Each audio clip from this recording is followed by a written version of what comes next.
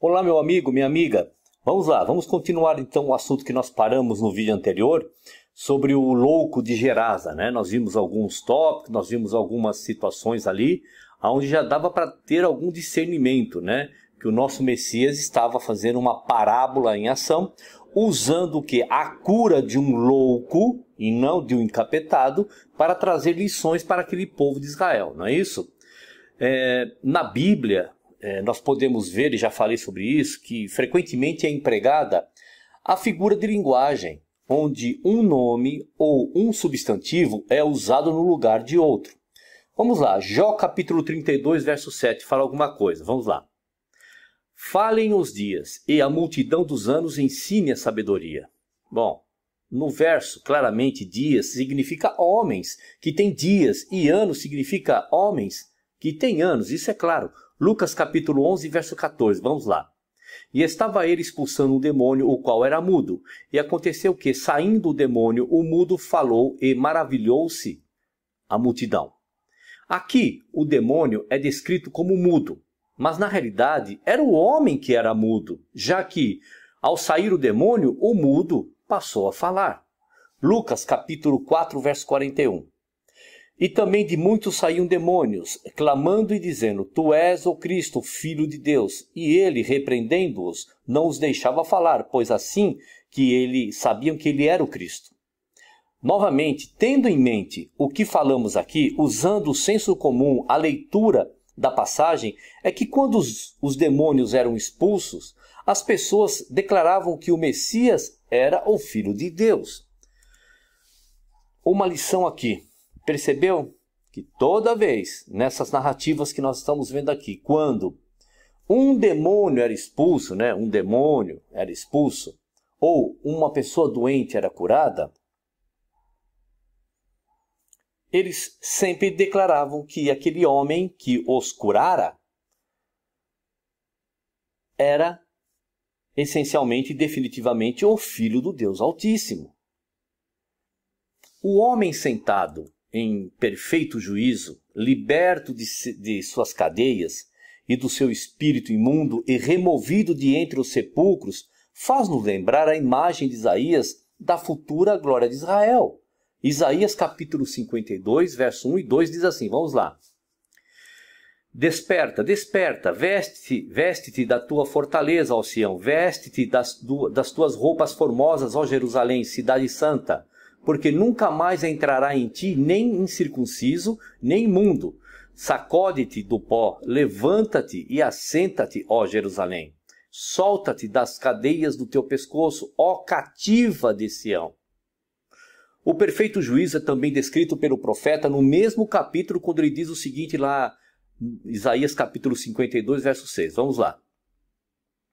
Portanto, o meu povo saberá o meu nome, pois naquele dia saberá que eu, que sou eu mesmo o que falo, eis-me aqui. Ainda, ainda assim da forma mais espantosa, o nosso Salvador nesse milagre apresenta sob forma de uma parábola em ação a maravilhosa mensagem do Antigo Testamento sobre o propósito do Criador para com aquela nação Israel. A cura do menino em Mateus 17 tem uma mensagem semelhante. As seguintes dicas permitirão a você e a todos aí localizar isso. Vamos lá.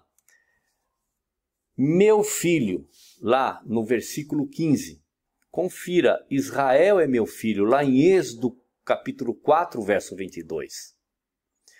Muitas vezes cai no fogo e outras muitas na água. Confira quando passares pelas águas e eu serei contigo. Quando pelos rios eles não te submergirão.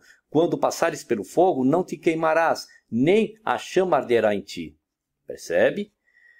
É, Israel, filho de Deus, caiu sucessivamente perante a Síria, Babilônia, Roma e através de sua história.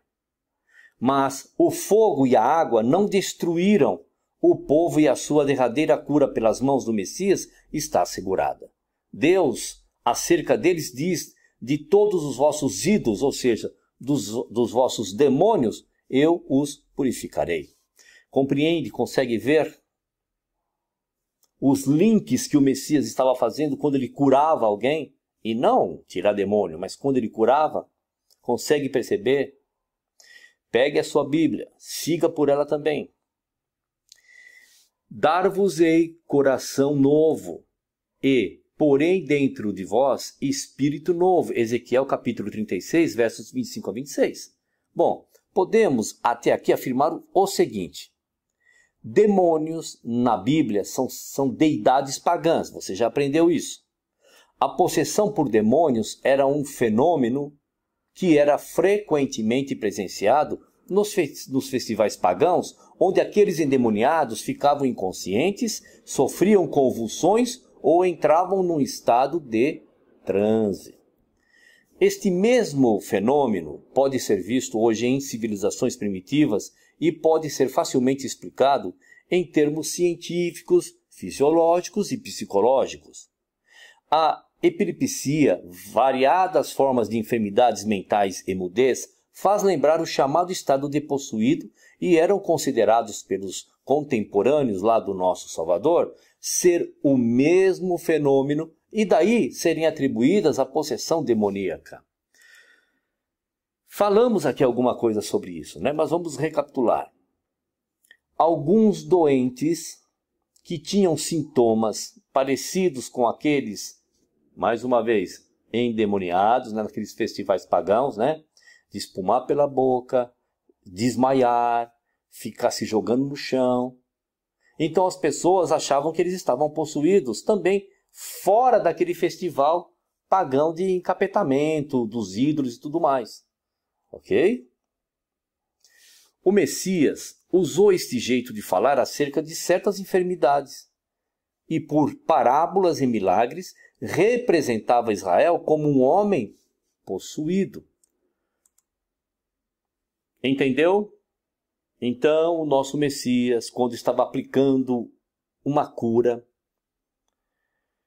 e havia um certo é, é, é, uma certa situação ali, aonde ele trazia a Israel, que pode ver que diversas passagens, ele faz uma comparação com o povo de Israel.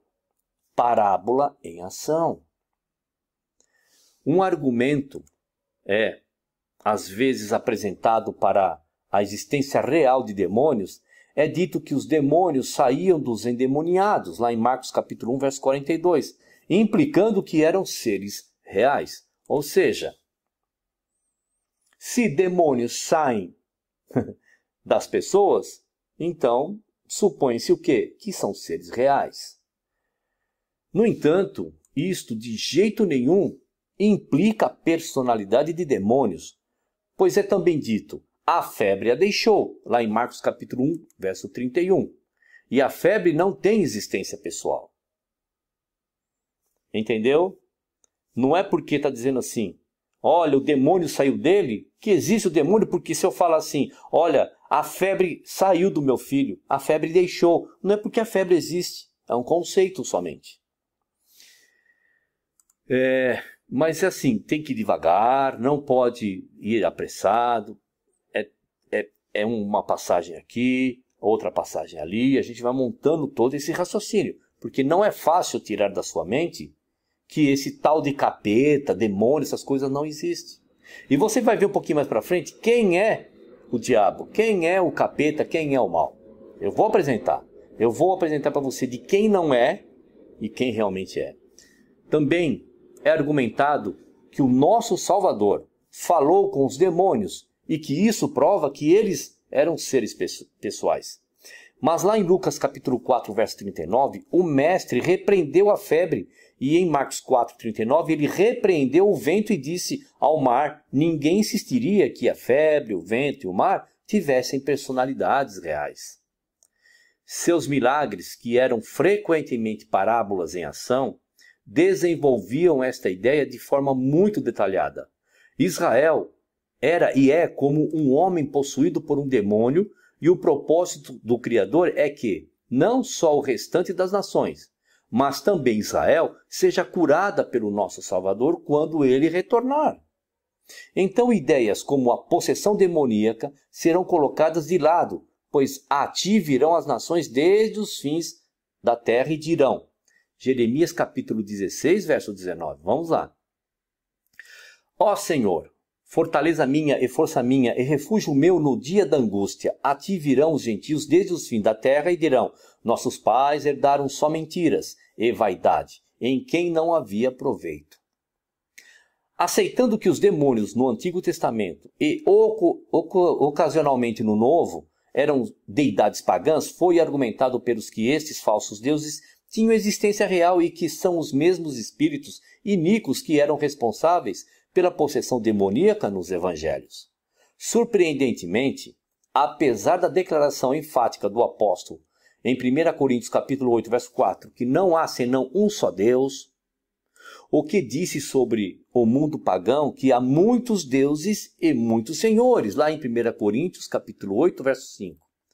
Lá ele diz que só tem um Deus, mas também diz que lá as pessoas acreditavam em vários deuses, em, em vários ídolos. É tomado como prova que esses deuses realmente existem. As pessoas pensam assim. Tais passagens como eu sou o Senhor e não há outro, além de mim não há Deus, lá em Isaías capítulo 45, verso 5, são ditas ensinar para nos mostrar que o Criador é o verdadeiro Deus. O seguinte, que nós vamos falar, é apresentado como mostrando, sem qualquer dúvida, que as deidades pagãs não têm qualquer existência real. Aqueles que acreditam que as deidades pagãs tinham existência real mantêm que os deuses que os pagãos adoravam eram representados pelos seus ídolos e os deuses eram os demônios com a existência espiritual real. Mas isto não concorda com passagens como, por exemplo, Deuteronômio capítulo 4, verso 28. Vamos lá. Lá servireis a deuses que são obra de mãos de homens, madeira e pedra, que não veem, não ouvem, não comem, não cheiram. Êxodo capítulo 20, verso 23. Não fareis deuses de prata ao lado de mim, nem deuses de ouros fareis para vós outros. Êxodo 32, verso 4. E ele os tomou das suas mãos e trabalhou o ouro com um buril e fez dele um bezerro de fundição. Então disseram: Este é teu Deus, ó Israel, que te tirou da terra do Egito. Com grande detalhe, o profeta Isaías apresenta a loucura desse conceito do paganismo aí. Isaías 44, versos 15 e 17 nos mostra. Vamos lá, nos mostra. Então serve ao homem para queimar e toma deles, e se aquenta e os acende e coze o pão. Também faz um Deus e se prostra diante dele. Também fabrica uma imagem de escultura e ajoelha-se diante dela. Então, do resto faz um Deus, uma imagem de escultura, ajoelha-se diante dela e se inclina e roga-lhe e diz: Livra-me, porquanto tu és o meu Deus. Percebem? A partir dessas passagens fica claro que era eles que faziam o Deus. Claramente, quaisquer poderes que possuía só poderia existir nas mentes de seus adoradores. Isto está em conformidade com a descrição de Paulo sobre a apostasia lá em Romanos. Vamos lá, capítulo 1, versos de 21 a 25 diz assim: Presta bem atenção. Porquanto tendo conhecido a Deus, não glorificaram como Deus, nem lhe deram graças. Antes, em seus discursos, se desvaneceram, e o seu coração insensato se obscureceu. Dizendo-se sábios, tornaram-se loucos, e mudaram a glória do Deus incorruptível em semelhança da imagem do homem corruptível, e de aves e de quadrúpedes e de répteis. Por isso também Deus os entregou às concupiscências de seus corações a imundícia para desonrarem seus corpos entre si, pois mudaram a verdade de Deus em mentira, e honraram e serviram mais a criatura do que o Criador, que é bendito eternamente. Amém. Não há indicação que, na realidade, eles estavam adorando seres espirituais chamados demônios. Não, não é isso que Paulo estava dizendo. Vez após vez, fato, o fato eh, de esses deuses não existirem em um sentido real, é proclamado pelas Escrituras. 1 Crônicas, capítulo 16, verso 26. Vamos lá. Porque todos os deuses dos povos são ídolos, porém o Senhor fez os céus. Jeremias, capítulo 5, verso 7. Vamos ver. Como, vendo isto, te perdoaria? Teus filhos me deixam a mim e juram pelos que não são deuses. Quando os fartei, então adulteraram, e em casa de meretrizes se ajuntaram em bandos. Isaías é particularmente enfático. Isso é claro. Vamos lá, mais uma passagem. Capítulo 43, verso 10 de Isaías. Vamos ver. Vós sois as minhas testemunhas, diz o Senhor, e meu servo, a quem escolhi, para que o saibais e me creiais, e entendais que eu sou o mesmo, e que antes de mim Deus nenhum se formou, e depois de mim nenhum haverá. O contexto disto é o Criador do céu e da terra contra deuses pagãos, e não tem relevância no propósito do Criador de conduzir muitos filhos à glória dos quais o Messias é o primogênito. O entendimento aqui de Isaías é que os deuses das nações não têm existência real e não, como é argumentado, de que eles existem, mas não são o verdadeiro Deus. Assim, o artífice funde a imagem, o sacerdote é, idolatra, é, pega a madeira, é um artífice perito é, para poder montar e para assentar uma imagem extremamente esculpida. É isso que o Criador está dizendo através da boca dos profetas. Aos deuses assim manufaturados, o Criador desafia o seguinte: vamos lá, Isaías capítulo 41, dos versos 23 e 24. Vamos, vamos a eles. Anunciai-nos as coisas que ainda hão de vir, para que saibamos que sois deuses, ou fazei, ou fazei bem ou fazei mal, para que nos assombremos e, junte, e juntamente o vejamos. Eis que sois menos do que nada, e a vossa obra é menos do que nada. Abominação é quem vos escolhe. Isaías 44, verso 8. Não vos assombreis, nem temais, porventura desde então não vou-lo fiz ouvir e não vou-lo anunciei? Porque vós sois as minhas testemunhas. Porventura há outro Deus fora de mim? Não, não há outra rocha que eu conheça. Isaías 45, verso 22. Olhai para mim e sereis salvos, vós, todos os termos da terra, porque eu sou o Deus. Eu sou Deus e não há outro. Bom, claro que aqueles que adoravam estes deuses pagãos acreditavam na sua existência real. E o fenômeno de, de possessão que acontecia no seu culto frenético, explicado aqui, dava credibilidade a essa crença. É, deixa eu parar um pouquinho aqui, que eu quero dar uma, uma outra destrinchada aqui na linha de raciocínio, eu vou abrir um parênteses, tá bom? O que, que o Criador está querendo passar aqui? Que quando uma pessoa cria um ídolo e, a, e, e passa, não vou dizer nem criar, mas passa a acreditar em alguma coisa, para ele tem existência real. Vamos a um exemplo? Eu vou dar um exemplo dentro do meu contexto sobre o que eu estou passando para vocês, tá certo? Vamos lá. Então o que acontece? Uh, quem acredita na, na existência real, eu não vou entrar no contexto, mas vou dar um exemplo assim, bem tolo, bem bobo, tá bom? Tem gente que acredita em alienígena. Aqui, existindo aqui, vivendo aqui. Ele cria isso na mente dele, passa a acreditar e para ele tem uma existência real. Mas um extraterrestre não tem existência real aqui. Ele tem alguma dimensão aí, algum outro local que não, não temos acesso a eles, nem eles a nós. E agora eu vou me aprofundar um pouquinho mais nesse exemplo. No exemplo do que o Criador está dizendo para nós tomarmos cuidado. Uma mentira contada muitas vezes torna-se uma verdade, principalmente na nossa mente. Mas no que diz respeito à Bíblia, aquele livrinho lá, os deuses não existiam em nenhum sentido, como nos dias de hoje negamos a existência, digamos, de divindades voodoo, apesar dos fenômenos de possessão que podem ser observados, que já falamos sobre isso. Semelhantemente, negaríamos a existência da trindade ortodoxa, na realidade, importada do lado do paganismo, apesar da chamada possessão pela terceira pessoa da Trindade, que se pode ver em reuniões pentecostais e em outras reuniões carismáticas. O ensino da Bíblia é definitivo, meu amigo. Os deuses dos pagãos não têm existência real.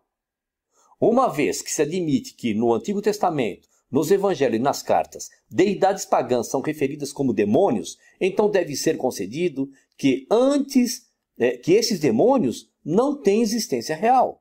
Então, se torna uma necessidade encontrar uma explicação alternativa para o fenômeno da possessão demoníaca que está mais ou menos é, confinada lá nos evangelhos sinóticos. Tá certo? Conseguem entender? Olha só.